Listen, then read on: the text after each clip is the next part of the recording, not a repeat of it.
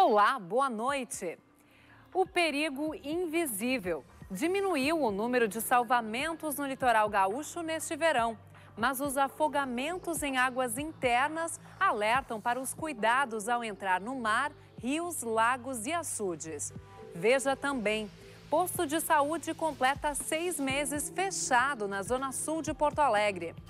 Mais de 2 mil gaúchos já utilizam a versão digital da carteira de motorista.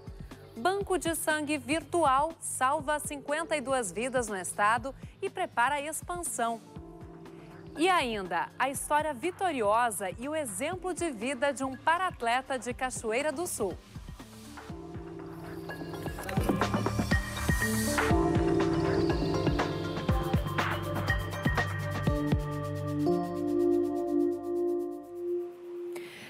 Ficar em Porto Alegre neste verão tem ótimas opções de lazer às margens do Guaíba. Uma delas é a Praia do Lami, localizada na Zona Sul. Mas atenção, embora as águas do lago pareçam mais tranquilas que as do mar, elas escondem muitos perigos. Como a bandeira indica, as águas da Praia do Lami são tranquilas. Ainda assim, é preciso tomar alguns cuidados. Acontece às vezes as pessoas abusarem de, de bebida alcoólica, né? E acabam entrando na água e, e ultrapassando os limites de segurança.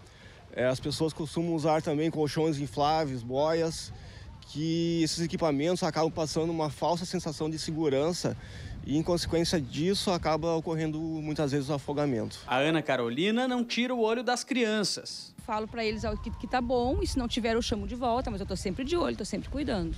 Não tiro o olho. Porque tem bastante caco de vidro e coisa. A minha filha já cortou os pés com caco de vidro. E eu fico cuidando o tempo inteiro, não tiro o olho deles. Miguel, o que, que, a, que, que a mãe diz aí pra, pra tu cuidar na água? E o que, que é pra ter cuidado na água? É pra, pra das ondas e não é pra ir lá no fundo.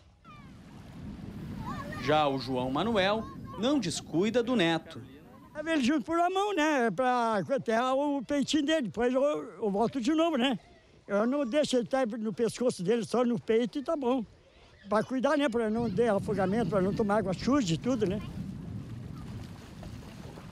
E os gaúchos estão mais prudentes nesse verão. Foram 107 salvamentos no litoral do Rio Grande do Sul nessa temporada, contra 305 no mesmo período do ano passado.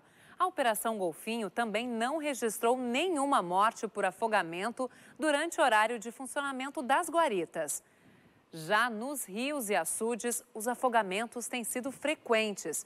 O repórter Felipe Prestes fala mais sobre os cuidados necessários nas chamadas águas internas. Duas das mortes ocorreram em uma barragem em Dom Pedrito. Houve também quatro mortes em diferentes rios em várias regiões do estado. E a outra morte ocorreu em uma cachoeira em São Francisco de Paula. Já no litoral, não foi registrada nenhuma morte por afogamento no feriadão de Ano Novo, ou seja, todas as mortes em águas internas do estado. Para falar sobre isso, está aqui ao meu lado o Major Marcelo Carvalho Soares, comandante da primeira companhia do primeiro Batalhão de Bombeiros Militar.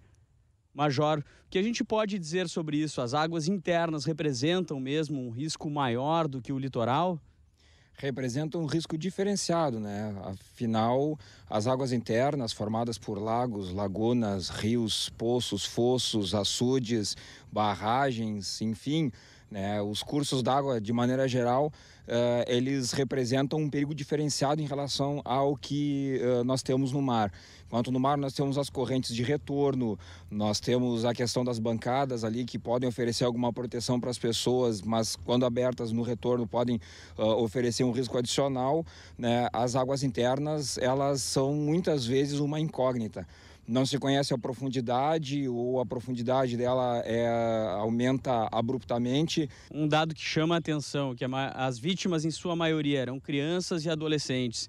Então também é uma tarefa dos pais cuidar para que os filhos não tomem banho em qualquer lugar, num açude, se está de repente em uma zona rural, sempre estar de olho nas crianças? Com certeza, porque a água interna aparentemente não oferece risco, é uma água mais tranquila, é uma água aparentemente mais calma, mas nós temos ainda assim correntes que podem uh, estar uh, escavando né, esse, esse leito daquele local onde se pretende tomar banho. Né? Uh, daqui a pouco a aquilo que se considera uma margem segura para banho já não é tão seguro e os pais têm que orientar as crianças né, para que estejam sempre próximos aos adultos e principalmente procurem uma área balizada para banho. É recomendável sempre que as pessoas orientem não entrar nas águas alcoolizadas, né, evitar que as crianças fiquem sozinhas e procurar sempre a área com balizamento por guarda-vidas. Guarita ativada, guarda-vidas atento. Tem que tomar muito cuidado mesmo. E acredite se quiser, um aparelho celular impediu que o projétil de uma arma de fogo atingisse o braço de um policial rodoviário gaúcho. O agente participava de uma ação de busca a criminosos da região das Ilhas de Porto Alegre quando, ao abordar um suspeito, foi recebido a tiros. Um dos disparos atingiu o peito do policial e foi amortecido pelo colete balístico. Outro tiro teve o um impacto atenuado pelo celular que o agente levava na manga do uniforme. O projétil atravessou o aparelho e ficou alojado no braço, sem provocar maiores danos. O Ministério da Defesa informou que não recebeu determinação oficial para mobilizar as Forças Armadas em Porto Alegre durante o julgamento do ex-presidente Lula no dia 24 de janeiro o prefeito da capital, Nelson Marquesan Júnior, encaminhou a Brasília pedido de apoio do Exército para manter a ordem na cidade.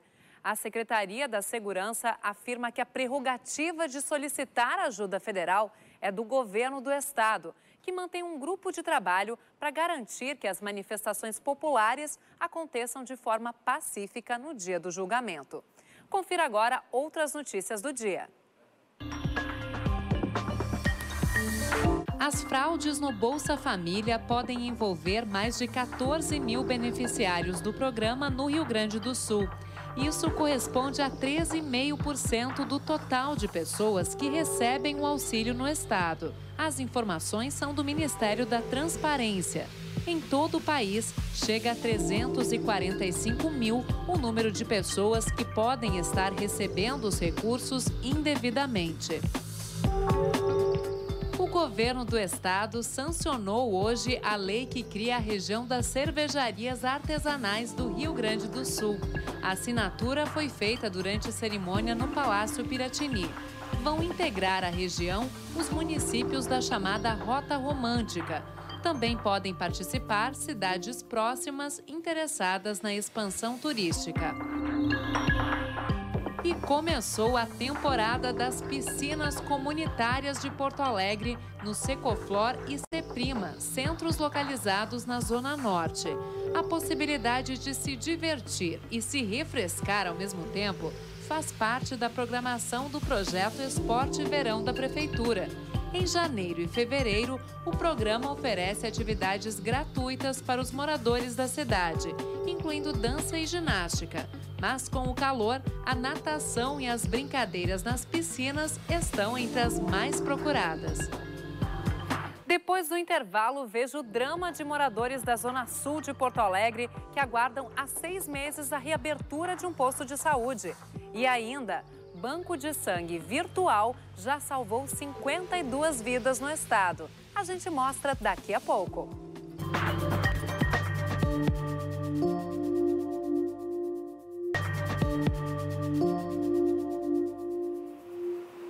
Aproximadamente 6 mil pessoas que moram na Vila dos Sargentos, na região da Serraria, zona sul da capital, precisam se deslocar para o bairro Guarujá quando necessitam de atendimento do SUS. É que o posto de saúde do bairro está fechado há seis meses. A prefeitura garante que uma nova unidade na vila vai, vai funcionar em condições melhores do que a anterior, mas isso ainda deve levar alguns meses. O local onde o posto funcionava agora está coberto de sujeira. Aqui eram atendidas entre 60 e 80 pessoas por dia. Moradores da região sentem falta do atendimento.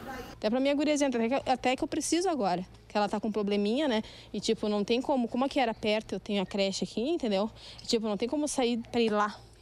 Aí eu tô precisando e não tem como, né? O posto está fechado desde o dia 23 de junho do ano passado, quando um tiroteio obrigou os funcionários a saírem daqui escoltados pela Brigada Militar. E por causa da sensação de insegurança, a Secretaria Municipal de Saúde diz que o posto vai continuar fechado. O local é próximo a um ponto de tráfico de drogas, mas, segundo a Brigada Militar, dois dos principais traficantes da região estão presos e as ocorrências estão diminuindo. Há uma aparente tranquilidade também, em razão do policiamento extensivo, tem sido diário. Então, tem se mantido o controle da, da situação da, de ocorrências na vila. Mas os números podem estar subestimados.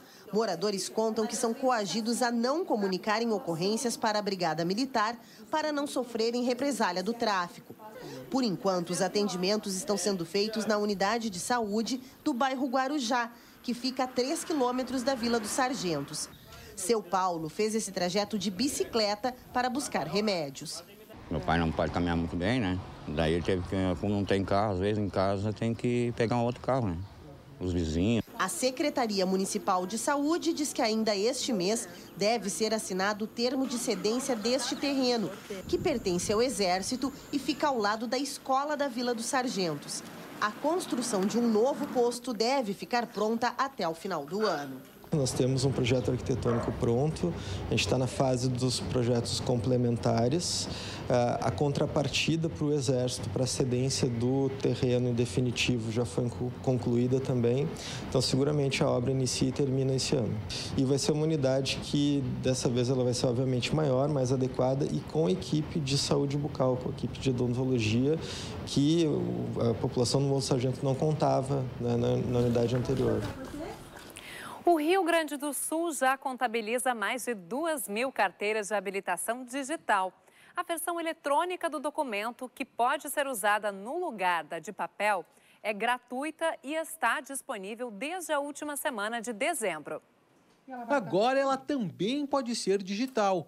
Ótimo para quem não sai de casa sem o celular. Apesar da aparência mais tecnológica, a CNH eletrônica tem o mesmo valor que o documento em papel e funciona por meio de um aplicativo gratuito. Ele pode ser baixado no smartphone pelo Google Play ou pela App Store. A adesão é opcional. É imprescindível que ele tenha o cuidado né, de que esse equipamento sempre esteja em condições né, de ser utilizado, inclusive com bateria, que esteja funcional, né, para que ele não possa, uh, para que não corra o risco de ser autuado por conduzir sem, sem portar o documento de habilitação, por exemplo. O documento digital só pode ser gerado para quem tem a última versão impressa com o QR Code na parte interna. O código existe apenas nas carteiras emitidas a partir do dia 2 de maio de 2017. O único momento em que você precisa estar online né, é no, no momento de você gerar a tua CNH digital, o primeiro acesso. Depois disso, ele funciona offline, né? Você só abre o aplicativo com uma senha de quatro dígitos que é gerada no momento do download inicial e você não precisa estar com, né, com internet no momento do acesso ao documento. Para utilizar a CNH eletrônica, ainda é necessário ter um cadastro atualizado no portal do Denatran. Embora o documento esteja disponível apenas em seis estados, ele é reconhecido em todo o território nacional. Uma boa alternativa aí. São 800 pessoas cadastradas em mais de 120 cidades. Uma corrente do bem que já salvou 52 vidas em pouco mais de seis meses. O Banco de Sangue Virtual foi criado por um gaúcho e já planeja expansão em 2018. É o que você confere no quadro Cidadania.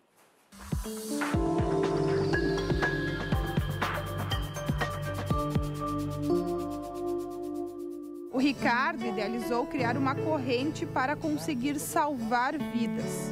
Mas deixa ele contar. Posso dizer para vocês que uh, a ideia mesmo nasceu um ano e meio, um ano e oito meses atrás. É, eu tive a ideia e estava com ela na cabeça e não tinha como desenvolver. Até que encontrei o Igor, da agência Faro, que é uma, agência de Cachoeiro do Sul, que comprou a ideia, achou muito bacana a minha ideia e disse, não, vou desenvolver para ti. Aí a agência desenvolveu. O site Banco de Sangue Virtual tem um acesso mensal de aproximadamente 7.700 visualizações. Uma abrangência de 123 cidades do Rio Grande do Sul e Santa Catarina. Um dado que diz que cada doador consegue salvar até quatro vidas, né? Então, poxa, o banco já tem ali 798 doadores cadastrados, né? E, e a gente procura fazer uma, uma limpa ali, realmente ser quem está cadastrado é realmente doador, sabe? E cada leva de e-mail que é enviado, eh, chamando as pessoas para doar, que venha doar 10, 20 pessoas. Poxa, imagina que cada, cada pessoa que doou, multiplicando por quatro ali, consegue ajudar sei lá, 30, 40 pessoas a cada, a cada disparo de e-mail, sabe? Então isso é muito bacana, muito positivo. www.bancodesanguevirtual.com.br onde eles podem entrar no link Quero Salvar Vidas e se cadastrar. É rápido e fácil. Quanto tempo leva? Um minuto. Um minuto. Um minuto dá para fazer, talvez menos até. Depois a pessoa está cadastrada, ela fica aguardando uma demanda, assim como nós também. As demandas pra, com pedidos de doação de sangue, ela vem de todos os lados do estado e de todas as formas. Ela entra através de um amigo, através de um grupo de WhatsApp, enfim, amigos nossos ou cadastrados que ficam sabendo de alguma demanda em algum hospital do estado, eles passam para nós e nós vamos lá no nosso site, vamos filtrar a cidade que está, que da onde vem a demanda, com o tipo de sangue necessário e nós vamos disparar um e-mail ou um WhatsApp para essas pessoas que têm esse tipo de sangue dessa cidade. E tem muitos detalhes no projeto que a gente quer melhorar, sabe? Dá para dá para fazer algo muito melhor do que está aqui hoje. Hoje, o que tem online é o que a gente chama de MVP, né? Um produto mínimo viável, ele funciona, eh, mas ele ainda está muito cru, ele ainda é muito manual, dá para automatizar muita coisa, ou seja, a gente consegue, com menos esforço, menos trabalho, atingir mais pessoas, sabe? Conseguir ajudar mais. Depois do intervalo, a gente traz as informações do tempo para amanhã.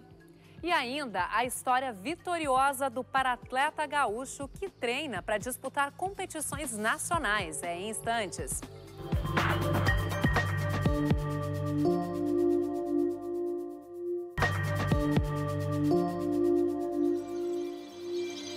A primeira semana do ano está sendo de calor intenso. Hoje a máxima no estado chegou a 36 graus e 4 décimos. Segundo o Instituto Nacional de Meteorologia, essa temperatura foi registrada no município de Barra do Chuí. E amanhã não vai ser diferente. A previsão é de tempo firme nesta sexta-feira.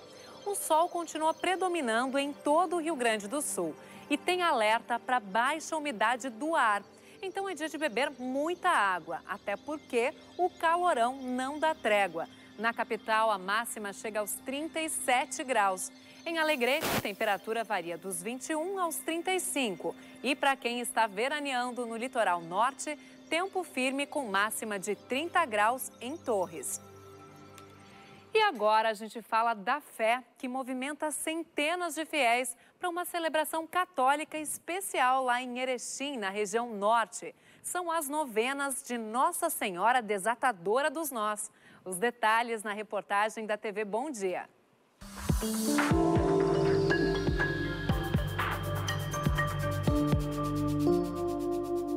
Em cada nó, um pedido especial: saúde, proteção, dinheiro todos realizados com muita fé a Nossa Senhora Desatadora dos Nós.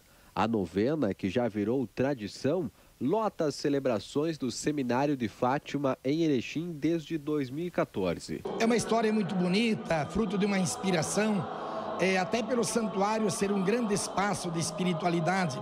E nós sentíamos que havia necessidade de dar uma revitalizada também nessa parte da mística, da oração, da espiritualidade. Ao todo, em 2018, serão 52 celebrações iguais a essa, às 14 e às 19h30, dois horários para que todos os fiéis sejam atendidos. Mas cada novena tem início, meio e fim. Então, quem não puder fazer toda uma novena, pode recuperar o dia numa outra novena. Mas, em princípio, o bom é que cada um faça a sua novena toda.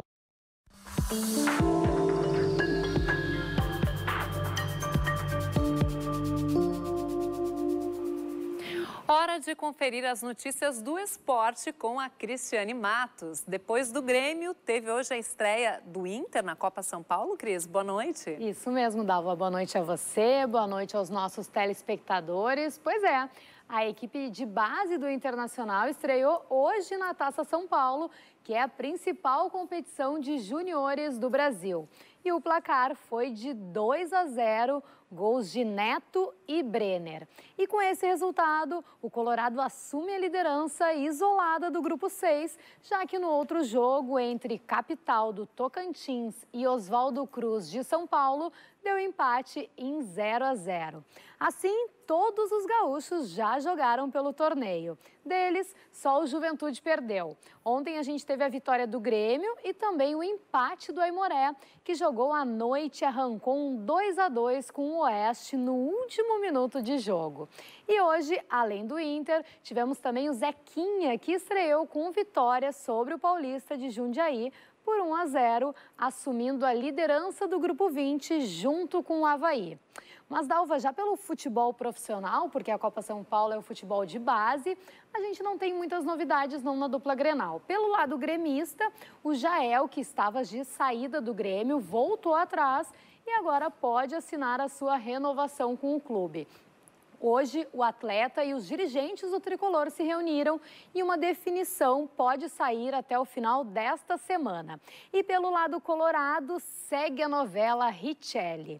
O volante já tem salário acertado com o Inter e tenta agora, em uma reunião com a direção do esporte, a sua liberação. Ele tem contrato com os pernambucanos até 2022 e a sua vinda, se for confirmada, deve ser por empréstimo.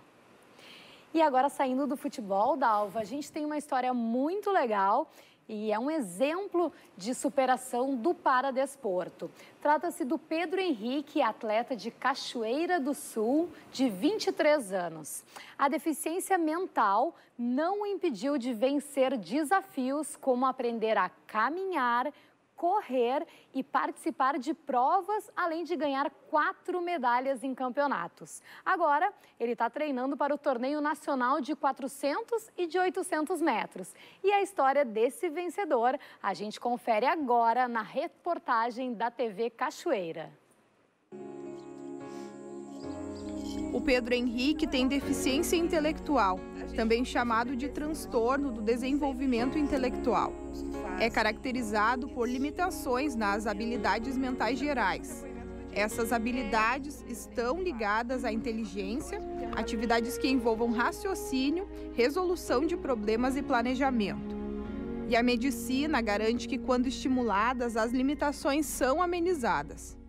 Como o Pedro ficou no orfanato por quase nove meses, faltou o que ele justamente precisava, o estímulo. Então atrasou um tanto. Então nós sabíamos sempre que ele ia recuperar muito, tanto que o Pedro caminha, anda, está aqui. Corre. Ultra campeão, corre, é. A prova disso ele carrega quatro medalhas de ouro conquistadas no início de dezembro. A disputa foi no complexo esportivo da Ubra em Canoas. E foi legal ter corrido assim, foi show. Quem que te apoiou, quem que foi inspiração para ti nesse...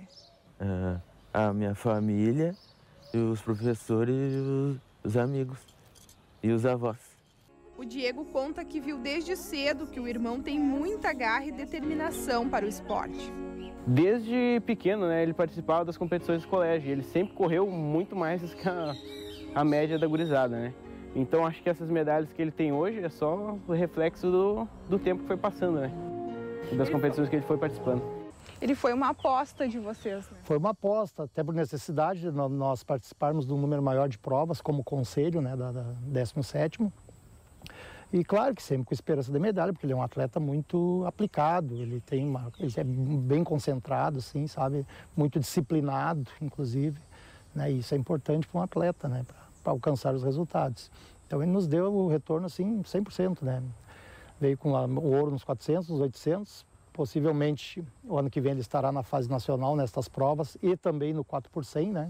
Contamos em setembro, numa reportagem especial sobre adoção, um pouco mais da vida do Pedro Henrique.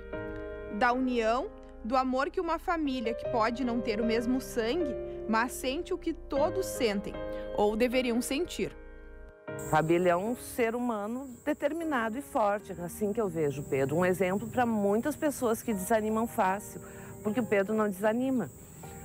O Pedro vai e luta, e tenta e vence as dificuldades, que todos nós temos dificuldades, algumas pessoas têm um pouco mais. E o Pedro não, o Pedro é um exemplo de determinação e força para minha pessoa, assim. Ele é um exemplo para mim diariamente de como a gente consegue vencer quando quer muito uma coisa.